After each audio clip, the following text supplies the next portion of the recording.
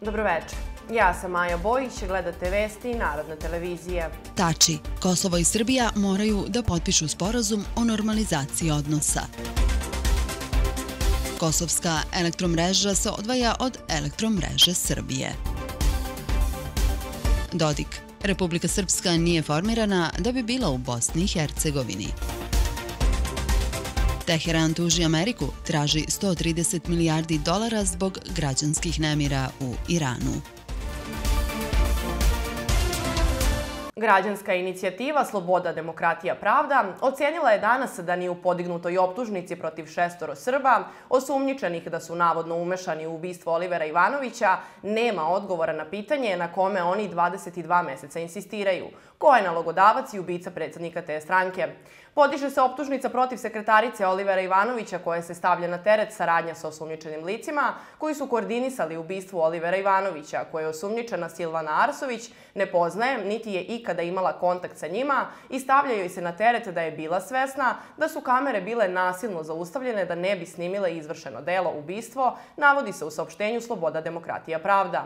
Članovi ove inicijative navode da su 22 meseca slušali razna prepucavanja, lažne spekulacije i dezinformacije, doživljavale vođenje psihološkog rata i pritisaka bez konkretnih dokaza i saznanja. Specijalno tužilaštvo Kosova podnelo je osnovnom sudu u Prištini optužnicu protiv Nedeljka Spasojevića, Marka Rošića, Dragiše Markovića, Silvane Arsović, Rada Basara i Žarka Jovanovića u okviru slučaja ubistva Olivera Ivanovića. Oliver Ivanović ubijen je ispred sedišta građanske inicijative Sloboda demokratija pravda u severnom delu Kosovske Mitrovice 16. januara prošle godine sa šest hitaca ispaljenih iz, kako se sumnja, vozila u pokretu.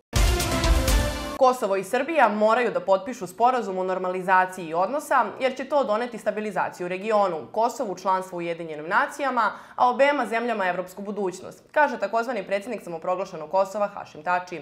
On je to rekao u Briselu na samitu na Zapadnom Balkanu, gde je bio jedan od učesnika. Takođe, on je istakao da je samoproglašeno Kosovo zaslužilo viznu liberalizaciju, rekavši da je ono sprovelo sve što je od njega tražila Evropska unija. Takođe, on je rekao da se Zapadni Balkan nalazi na raskršću po pitanju odnosa sa Evropskom unijom. To je veoma opasno. Neke zemlje iz regiona su krenule unazad ka populizmu i nacionalizmu, rekao je Tači. Kako je kazao, veoma je važno da u regionu postoji stabilnost, rekavši da očekuje da 2020. bude godina političke stabilizacije Zapadnog Balkana. Takođe je istakao i da je neophodno da se Sjedinjene američke države i Evropska unija koordinišu kada je u pitanju dijalog između Beograda i Prištine. On je kritikovao činjenicu da Severna Makedonija i Albanija i dalje nemaju datum za početak pregovora o evrointegracijama i ukazao na porast populizma u tim zemljama, kao i na to da su jedna od posledica toga vanredni izbori u Makedoniji. Kosovska elektromreža potpisala je sa operatorom prenosnog sistema sporazum o uspostavljanju Kosovskog energetskog regulatornog bloka u Tirani. Time se, kako se ocenjuje, otvara put odvajanju od elektromreže Srbije. Sporazum je potpisan uz znanje Evropske mreže operatora prenosnih sistema električne energije, a predstavlja preduslov za nezavisno delovanje Kosovske elektromreže, dodaju se u saopštenju. Njegovo stupanje na snagu očekuje se u aprilu 2020. godine posle potpisivanja i započinjanja sprovođenja novog sporazuma o priključenju. Povodom potpisivanja sporazuma izvršni direktor Kosovske elektromreže Iljir Šalja naglasio je da je ovo istorijski sporazum za elektromrežu jer će on značiti izlazak Kosovske elektromreže iz regulatornog područja Srbije.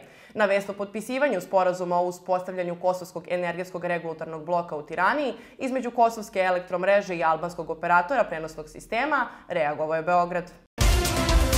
Srpski član predsjedništva Bosne i Hercegovine Milorad Dodik izjavio je danas da je ono što je najgore u Bosni i Hercegovini pokušaj da se ljudima nameće mišljenje i istakao da Republika Srpska nije formirana da bi bila u Bosni i Hercegovini. On je takođe ocenio da su Srbi skloni da budu istorijski naivni i da prave istorijske greške i da donesu odluke koji ih kasnije mnogo koštaju. Ona, kada je formirana, formirana je da bude nezavisna država, Ona je tu svoju nezavisnost branila u toku rata i kroz Dejtonski sporazum, imajući u vidu da su 1992. godine velike sile kao što je Amerika priznale Republiku Srpsku. Mi smo naučili da bez države nema slobode. Prema njegovom mišljenju, Bosna i Hercegovina ostaje problem i tu nema pomirenja, kao i da muslimani i bošnjaci žele celu zemlju za sebe, te da se pokušava nametnuti i da su Srbi krivi za sve, prenosi Tanjug. Magazin Geopolitika Gradite svoj identitet. Teheran će tužiti Sjedinjene američke države zbog građanskih nemira u zemlji. Izjavio je iranski port parol vlade Gulam Huseini Esmaili i naglasio da će zahtevati odštetu od 130 milijardi dolara. Protesti su izbili u nekoliko iranskih provincija u novembru nakon odluke vlade da poveća cene benzina. Umeđu uvremenu su demonstracije postale nasilne. Esmaili je rekao da su tužbe podneli iranski državljani koji su direktno pretrpeli štetu zbog američkih akcija. Iranska vlada je 15. novembra odlučila da podigne cene gasa na 30.000 rijala, oko 0,2 dolara po litru. Nakon ove odluke održani su protesti u velikom broju gradova Islamske republike, koji su prerastali u sukobe sa policijom. Demonstranti su zapalili kancelarije banaka i benzinske pumpe. Neredi su zabeleženi u stotinama gradova. Predsjednik Irana Hasan Rohani tvrdi da su proteste organizovali Sjedinjene države i Izrael kako bi potkopale iransku nacionalnu bezbednost. Washington je dao otvorenu podršku demonstrantima. Približavanje NATO-a granicama Rusije predstavlja pretnju za bezbednost zemlje. Izjavio je predsjednik Rusije Vladimir Putin na sastanku o državnim nabavkama u odbranbenom sektoru za potrebe Mornarice. Putin je podsjetio da je alijansa stvorena kako bi se suprostavila Sovjetskom savezu.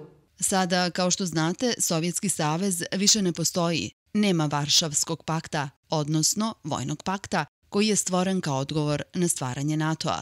Ali NATO ne samo da postoji, već se i razvija. U trenutku njegovog stvaranja u taj savez je ulazilo 12 država. Sada ih je već 29, a ukupni vojni rashodi zemalja alijanse iznose više od 70 ukupnih vojnih rashoda u svetu. Zastarali blokovski stereotipi svojstveni NATO-u ne mogu biti instrument saradnje u svetu koji se brzo menja, izjavio je predsjednik Rusije. Kremlj se fokusira na saopštenje Ankare da su druge osobe izdale naređenje da se obori ruski avion Su-24. Rekao je port parol Kremlja Dmitri Peskov, komentarišući informacije da je navodno predsjednik Turske Recep Tayyip Erdogan lično izdao naredbu da se obori ruski avion u Siriji 2015. godine. Nejasno je odakle su se pojavile te informacije i koliko se mogu smatrati pouzdanima. Mi se fokusiramo na zvanično saopštenje turske strane da su drugi ljudi izdali naređenje za uništavanje ruskog aviona, prokomentarisao je Peskov. Ruski avion Su-24 oboren je 24. novembra 2015. godine u Siriji. Predsjednik Rusije Vladimir Putin saopštio je da je avion oboren raketom klase vazduh-vazduh koji je ispaljena iz turske letelice F-16 iznad teritorije Sirije i da je avion oboren u Siriji na 4 km od granice sa Turskom. Gledali ste vesti Narodne televizije. Prijatno večer.